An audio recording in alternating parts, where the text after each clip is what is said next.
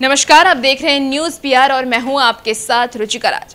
भारी बारिश की वजह से अब झारखंड के साथ साथ बिहार की भी स्थिति खराब होती जा रही है। जी हाँ हम आपको बताएँ कि लगातार मौसम विभाग की तरफ़ से हाई अलर्ट जारी किया जा रहा है, लेकिन बिहार में भी अब नदियों के उफान से तटबंध टूट रहे हैं, जिससे कई निचले इलाके में पानी घुस आया है। इससे किसानों को काफ़ी दिक्कतों का सामना करना पड़ रहा है, क्योंकि जिस भी किसान के खेत में पानी घुस गया है, फ़सलों का काफ़ी नुकसान हो रहा है। और आपको ये भी बताते चले कि नालंदा, बिहार शरीफ पटना गया, इन सब जिलों में अभी जलस्तर क्या है और कितनी बारिश होने से जलस्तर बढ़ सकती है और जिससे बाढ़ की स्थिति उत्पन्न हो सकती है। आइए हम आपको इस पूरे वीडियो में डिटेल से बताते हैं। पश्चिम इलाके से होकर गुजरने वाली लोकाइन नदी ने रौद्र रूप ले लिया है। कराई सुपराई में एक तो हिलसा में चार जगहों पर नदी का तटबंध टूट गया है। एक सराय में राडीली छिलका के ऊपर से पानी का तेज बहाव हो रहा है। चार गाँवों में बाढ़ का पानी घुस आया है। करीब उनचालीस गाँवों में खेत जलमग्न हो गए हैं। धान और सब्ज़ी की फ़सलें जल समाधि ले ली हैं। इधर जिला मुख्यालय बिहार शरीफ से निचले इलाके व रउई में पचाने तबाही मचा दी है। आपको बताते चलें कि औरंगाबाद के रफीगंज प्रखंड क्षेत्र के धावा एवं मदार नदी में अधिक पानी होने से विभिन्न जगहों का आवागमन ठप हो गया है। शुक्रवार एवं शनिवार को लगातार बारिश होने से दावा एवं मदार नदी उफान पर है।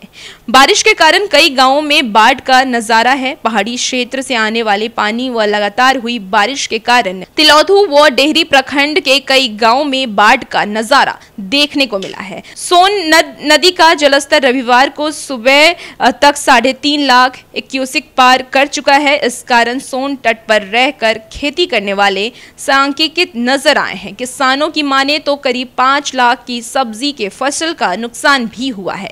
खेत जलमग्न होने से धान की फ़सलें को बड़ा नुकसान होने की संभावना है। उधर सोन नदी का भी जलस्तर बढ़ रहा है। अगर बात कर लें दूसरी तरफ़ नदियों की जलस्तर की तो राज्य की दूसरी नदियों का जलस्तर तो नीचे आने लगा है, लेकिन गंगा के जलस्तर में वृद्धि तेज हो गई है। गंगा का जलस्तर बढ़ने के बाद भी लाल निशान से काफ़ी नीचे है। पुनपुन भी लाल निशान से लगभग एक मीटर नीचे है। कोसी का डिस्चार्ज घटकर बहाय क्षेत्र एक दशमलव दस लाख और बराज पर एक दशमलव चौबीस लाख घनसेक आ गया है। लेकिन नदी का जलस्तर अब भी खगड़िया में लाल निशान से लगभग 121 सेंटीमीटर ऊपर है। गया और आसपास के जिलों में पिछले कुछ दिनों में हुई बारिश से सैकड़ों एकड़ फ़सल पानी में डूब गया है। सोहलदाम पाइन का तटबंध कई जगहों पर टूटने की वजह से पानी सड़क और खेतों में घुस आया है। भैरवा में भी धान का पौधा पानी में डूब गया है।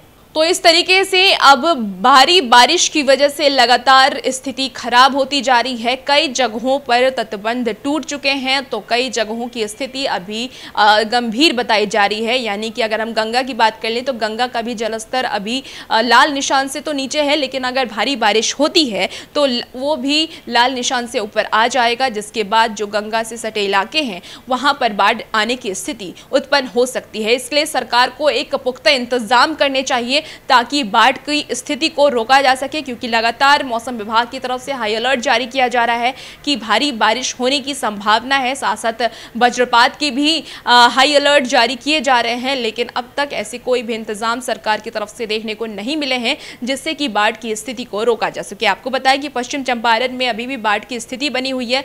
लगातार मुख्यमंत्री नीतीश कुमार भी वहाँ का दौरा किए हैं और लोगों को राहत पहुँचाने की बात कही जा रही है। लेकिन जो अन्य इलाके हैं, जहाँ पर अभी बाढ़ नहीं आई है, वहाँ पे भी बाढ़ आने की आशंका जताई जा रही है, क्योंकि लगातार जलस्तर में बढ़ोतरी देखने को मिल रहा है और मौसम विभाग की तरफ़ से भी ये अलर्ट जारी किया जा रहा है कि भारी बारिश होने की संभावना है। इसलिए सरकार को एक पुख्ता इंतज़ाम करने चाहिए, ताकि आने वाली जो समय है, उसमें अगर भारी बारिश हो भी तो बाढ़ की स्थिति कम से कम उत्पन्न ना हो और लोगों को ये दिक्कतों का सामना नहीं करना पड़े। सबसे ज़्यादा किसान को नुकसान होता है, क्योंकि उनकी खेत में पानी घुस जाते हैं, जिसकी वजह से पौधों का नुकसान होता है और फिर उनकी आर्थिक आय पर भी असर पड़ता है और इससे उभरने में किसानों को काफ़ी समय लग जाता है। इसलिए सरकार को इन सब मुद्दों पर ध्यान देना चाहिए और आगे की स्थिति का जायजा लेते हुए कोई ऐसे पुख्ते इंतज़ाम करने चाहिए जिससे कि बाढ़ की स्थिति को बिहार में रोका जा सके। और भी ऐसी तमाम खबरों के लिए हमारे साथ बने रहिए और देखते रहिए न्यूज़ पी नमस्कार।